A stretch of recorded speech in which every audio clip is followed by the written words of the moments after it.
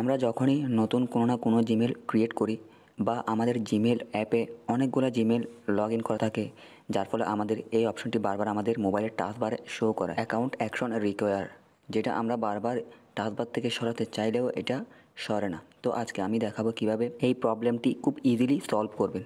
তো চলুন মূল ভিডিওতে। তার আগে একটি রিকোয়েস্ট করে ধন্যবাদ। তো আমাদেরকে সরাসরি চলে যেতে হবে আমাদের মোবাইলের সেটিং অ্যাপে। সেটিং অ্যাপে যাওয়ার পর একদম নিচে আমরা দেখতে পারব অ্যাকাউন্ট অ্যান্ড সিঙ্ক। অনেকেরই শুধু এই সিঙ্ক লেখাটি থাকবে, তো আপনারা ওই সিঙ্কে ক্লিক করবেন। তো আমার যেহেতু এখানে অ্যাকাউন্ট অ্যান্ড সিঙ্ক লেখা আছে, আমি এই অ্যাকাউন্ট সিনকে ক্লিক করব একবার। তারপর অ্যাকাউন্ট সিন থেকে আমাদের এখানে এই অপশনটি আসবে। এখান থেকে আমাদেরকে সরাসরি গুগলে ক্লিক করতে হবে।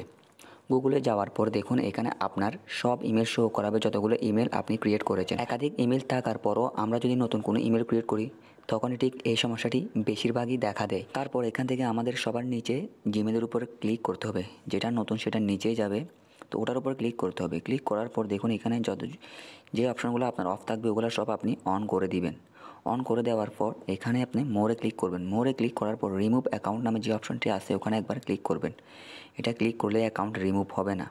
আপনি জাস্ট ওটার উপর ক্লিক করবেন। দেখুন, এখানে কি লেখা আছে। Removing this account will delete all of its message contact and other data from the phone এই ফোন থেকে আপনার এই ইমেলের সমস্ত ডাটা ডিলেট হবে, কিন্তু ইমেল ডিলেট হবে না। তো আপনি এই রিমুভ অ্যাকাউন্টে ক্লিক করবেন। তো দেখুন জিমেলটি এখানে আর শো করাচ্ছে না। তো আপনার যদি এরকম আমার মতো একাধিক জিমেল থাকে, তাহলে আপনি আরও দু একটা এরকম রিমুভ করে দিতে পারেন। তারপর এবার আপনি এখান থেকে সরাসরি হোমে চলে যান। আই মিন বের হয়ে যান। যাওয়ার পর উপরে টাচবারটি একটু নিচের দিকে নামান। দেখুন ওই অপশনটি আর নেই। সমস্যাটি অটোমেটিক্যালি চলে গেছে। তবে আমার জিমেলটি এই জিমেল অ্যাপ থেকে রিমুভ হয়ে গেছে। আমাকে আবার জিমেল অ্যাপে ঢুকে লগ ইন করতে হবে। তো আপনি যদি সেটিং থেকে সব জিমেল রিমুভ না করেন, তাহলে এখানে আপনার একটা না একটা জিমেল লগ ইন করা থাকবে। আপনি জাস্ট লগ আইকনে ক্লিক করবেন। লগ আইকনে ক্লিক করে একদম নিচে চলে যাবেন। এখানে দেখতে পারবেন অ্যাড অ্যানাদার অ্যাকাউন্ট আর যাদের কোনো ইমেলই থাকবে না, তারা জাস্ট থ্রি ডট মেনুতে ক্লিক করবেন। ক্লিক করার পর নিচে সেটিংয়ে ক্লিক করবেন। সেটিং থেকে দেখবেন এখানে অ্যাড অ্যাকাউন্ট তো আমি এখান থেকে দেখাচ্ছি। অ্যাড অ্যাকাউন্ট থেকে আপনাকে গুগলে ক্লিক করতে হবে। গুগলে ক্লিক করার পর একটু চেকিং করবে। তারপর এখানে আপনার ইমেলটি বসাবেন। যে ইমেল আপনি ওখান থেকে রিমুভ করে দিয়েছেন বা নতুন অ্যাকাউন্ট ক্রিয়েট করেছেন, ওখানে রিমুভ করার পর চলে গেছে। তো ওই ইমেলটি এখানে পেস্ট করবেন। পেস্ট করার পর আপনাকে এখানে নেক্সট করতে হবে। তো আমি পেস্ট করলাম। পেস্ট করার পর এখানে নেক্সটে ক্লিক করব। তারপর আপনার এই জিমেলের পাসওয়ার্ড চাইবে। তো আমি পাসওয়ার্ডটি বসাচ্ছি। আপনিও আপনার জিমেলের পাসওয়ার্ডটি বসাবেন। তারপর এখান থেকে নেক্সটে ক্লিক করবেন।